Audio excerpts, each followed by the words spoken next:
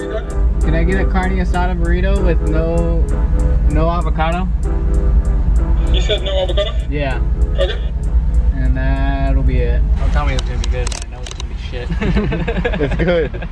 It's freaking real good. I didn't even want to order the chicken because I was so scared. This place looks like it's got a seed. How, how Um, fresh is their chicken? Is it frozen and they microwave it? They killed the freaking bird this morning. okay. okay. Burrito in hand. Dude, he called you brother. Yeah, I get that a lot. Go right, right here. I really fit in with these guys. Mexicans. What is up guys, Flossy Missiles here. In today's video we'll be working on Adam's van. So we are going to try to repair this rust area right here. We'll see how bad it is. Also we have some rust on the other side. Right here, this one doesn't look as bad. Can't tell if it's all the way through or not. But the only way to find out is we're gonna pull out this windshield. So we're gonna cut the seal out and um, get a better look at it. And pretty soon we'll be cutting, grinding, and throwing some Bondo on this thing. Just had to make a quick pit stop over at Ace Hardware and we picked up this knife. It's, like a, it's a carpet knife that I just threw down. He's not flowing with the video today. But um, basically you run it right behind the rubber. Yeah, I'll put this back down. Like this. You run it right behind here and then it just pulls back and you can see where the glass ends and where the rubber still is at. And so honestly you have to pull the blade towards you when you're doing this. But Adam's gonna go ahead and finish off the rest of the window, just that little bit right there. But yeah, come along good.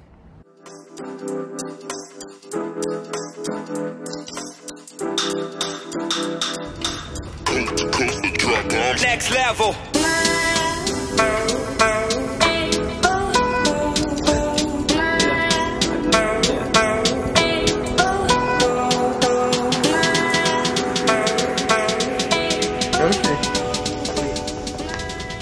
Windshield is out and the rust is not looking too hot. This one we kind of didn't know because it's just a little bit showing, but upon further inspection, I mean, look at this. You can see it with that harsh lighting. It's it's pretty bad. It almost ate all the way through the first layer where the two pieces of metal were like uh, seam welded together. Also rust along on this whole channel on the bottom down here.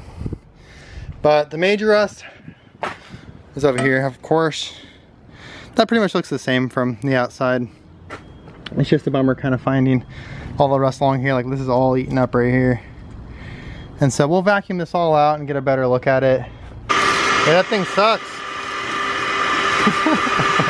so it's been about a month since the last clip you saw. I've actually had a really hard time finding uh, replacement sheet metal for Vanagons. It's actually easier to find air-cooled stuff because they make reproduction, but they don't make any reproduction Vanagon stuff that I've been able to find. But this one just popped up at the Monrovia pick apart, and so I came down here. It's already pretty picked over too, but it's got the metal that we need right here.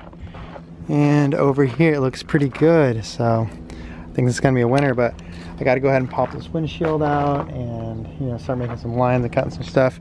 I just brought my backpack with my cordless sawzall and some knives and some hearing protection, but man, I'm so stoked to find this. I was getting kind of worried because literally like for a month I've been emailing people and doing that whole thing and no one's no one's had the stuff, but here it is. I just got the windshield popped out of this thing. As you can see, there's all kinds of mud and water, moisture, in the areas where uh, Adam's rusted. This one's not rusted at all, but there's a lot of crap in there. So I can see why that area would rust. Okay, right now I'm sick to my stomach. This is so disgusting. I don't even think I should show this. But I was like, man, this van really stinks. Like, it's horrible smelling van. And I had to get inside to push out the windshield and all that stuff. And then I look behind me and this is this is so gross. I don't know if you can see that right there. Some dude or somebody dropped a huge deuce in there. It's like so disgusting. So I'm like in a rush now to try to get this pulled out and a metal cut. It's been about an hour of me cutting now and the piece is finally off. Here it is. I smell that stinky smell. But, but bam, there's the piece. Oh my gosh, it was honestly a lot of work to cut the thing out. Like, uh, sawzalls are rough. But it's out. I'm so stoked to finally have the thing out. Uh, man, I'm so happy I don't have to smell that smell anymore. It smells so terrible over here. And we're back home. So I just went ahead and busted out the Dremel and I cut right here all the way down. It's crazy. There's like a tension on, there's like tension on the metal. So when you cut it, it just automatically comes like loose kind of springs out of place type of thing. But uh, as you can see, these little spot welds. Um, let's see. Okay, this one's pretty visible right here. But yeah, uh, the best way to get those out, to drill that out, those panels out, is using a fingertip grinder or uh, whatever they call them, portable um, belt sanders, something like that. I'm not sure, I always forget the name. But I might have to drop this dash. I'm not looking forward to that at all because dropping van dashes is not fun. It's kind of like a couple hour ordeal. But we'll see what, what if it, you know, if it's if, it, if we do it or not. Anyways, um, this black line right here is from when I was sending pictures to people because I wanted people to cut, like, I found people in the Samba that were parting out Vanagons, like, I was trying to show them where to cut, but that's obviously too much, so the purple line is what I just did right now. That's where I'm gonna be cutting and trying to get all this new metal in there. A lot of work, but it's doable, we'll get it done.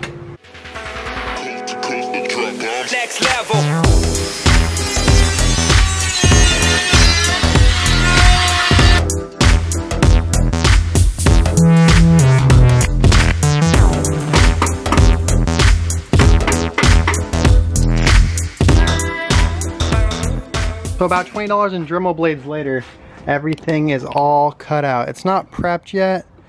I kind of farmed it a little bit right there, but I can fix that. Um, but yeah, everything is cut out. I gotta clean this L up, of course, and get it weld ready, but all the structural stuff's good. And here's the thing, this is kind of ghetto, but I know my buddy Adam doesn't care. And it's better than me spending another day and a half trying to pull this dash.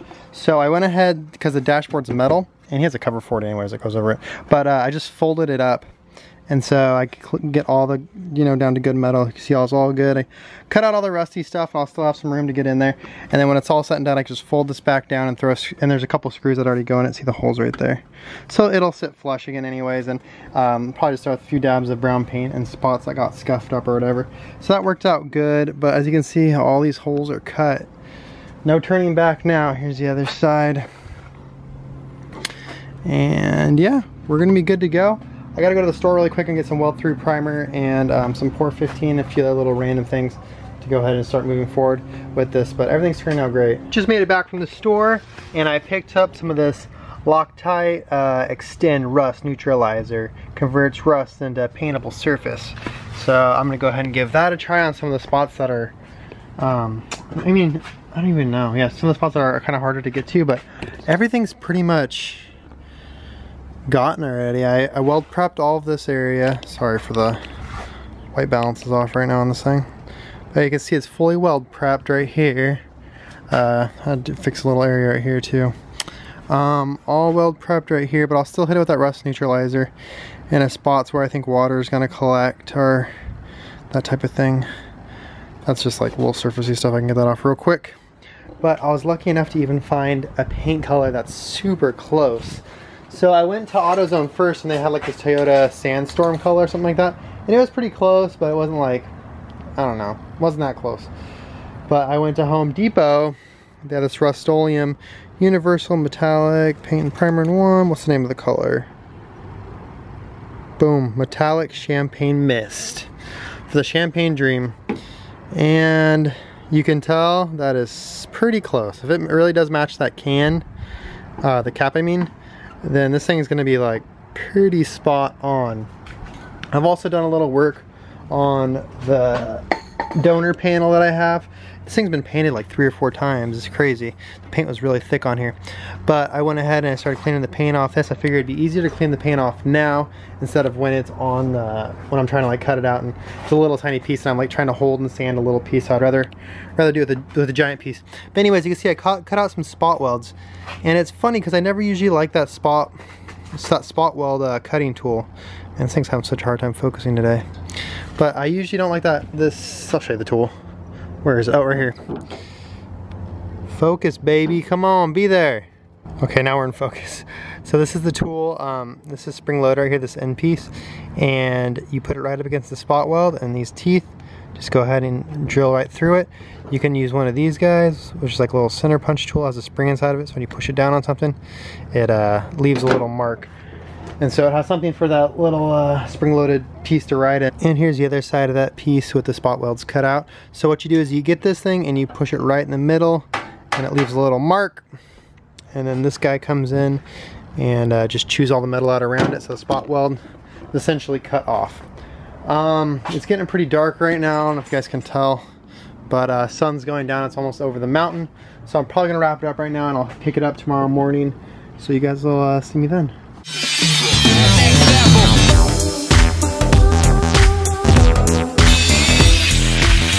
Here's the first piece uh, cut out. Gotta grind it down a little more and uh, get it all prepped. But it's gonna be a ton of trimming obviously involved getting this to fit 100% exactly because there's like a weird body line uh, in that spot. Fits in there, right there. So yeah, I'm pretty much ready to throw some welds on it and uh, get it finalized. But yeah, this one piece took quite a long time. I'll show you guys the fitment. Fitment's pretty good though. Anyways, yeah, so it fits right in there. Um, I'm gonna go ahead and throw some tacks on it. I'm gonna hit like all corners and then, you know, make sure everything's flat and then finalize it and it takes forever. Also that rust neutralizer stuff, I put it on some of this metal that's like, had like very light rust on it and it turned it black. It's really strange. Straight up black. Really interesting.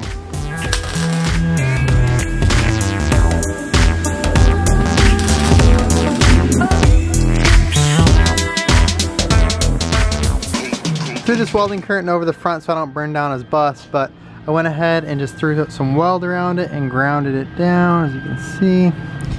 Uh, I got a few little areas I got to fix right here at the welder, but once one piece of metal again. Um, yeah, of course I'm gonna glaze this because there is a little bit of a ripple in some places because uh, you know the metal shrinks and stuff when you start welding on it, it starts getting hot. But body lines came out super dialed. Um, it's actually a really good fit. But like I said, yeah, I gotta glaze this. I gotta fix this with the welder too. I'm gonna get some more metal in there. But all the holes are filled.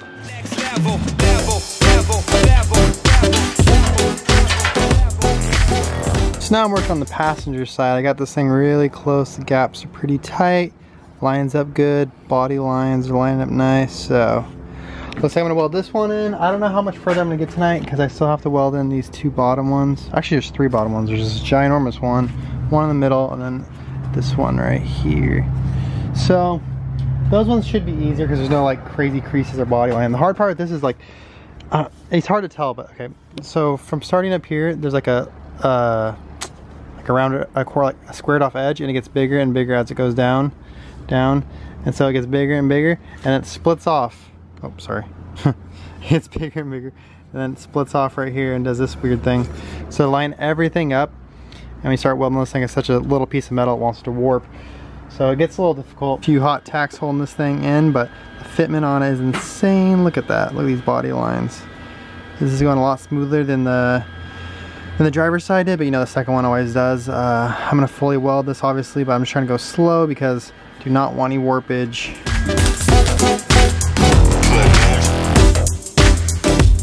The passenger side. Uh, I gotta grind all that down, but that's what it looks like with the weld going all the way around it.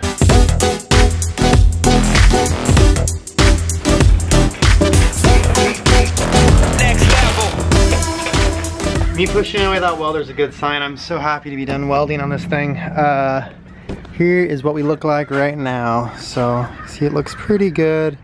I'm still gonna glaze it, but both sides are looking good. The body line on it, it's looking great all the way around.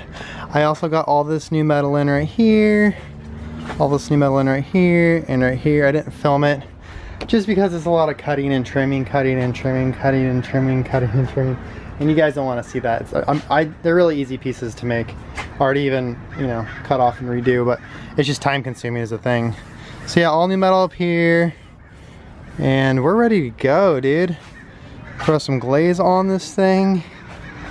And looking great. Yeah, I'm stoked the way it came out, honestly.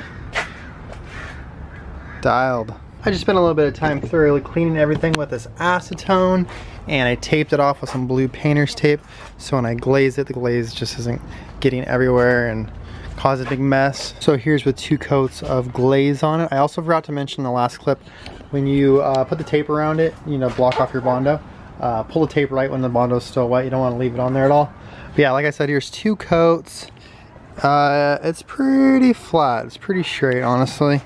Some of these curves are a little weird, but yeah, I got it pretty good. It's getting dark, so I got the work light out. That's why it, the lighting is really crazy right now.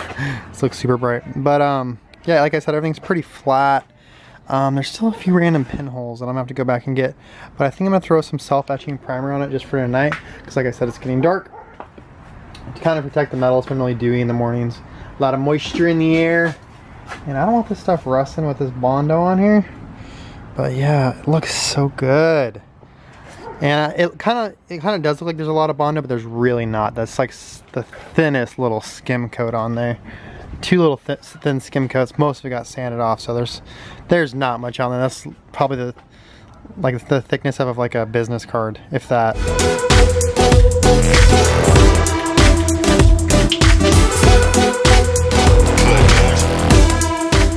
So the primer's on it right now. I'm gonna let it dry throughout the night and then tomorrow we'll spray with that champagne color. So the primer dried overnight and here it is now. I just hit it with some 220 and it is ready for paint. Look at that. That looks good. And that get good. So yeah, I just got hit with paint and I gotta mask it all off again. And we should be ready to rip. All masked off and ready for some paint. Hopefully this color matches. It looks close, champagne mist. Hope you don't do me dirty. Um, I also tried to fold the tape over on a lot of edges, give it a softer edge. So the transition's not as rough, but we'll see how it turns out.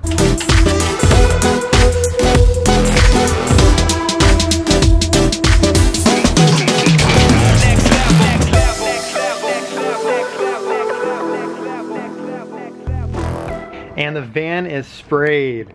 Check out that color match pretty dial. I feathered it in a little bit more and I pulled off the tape and stuff.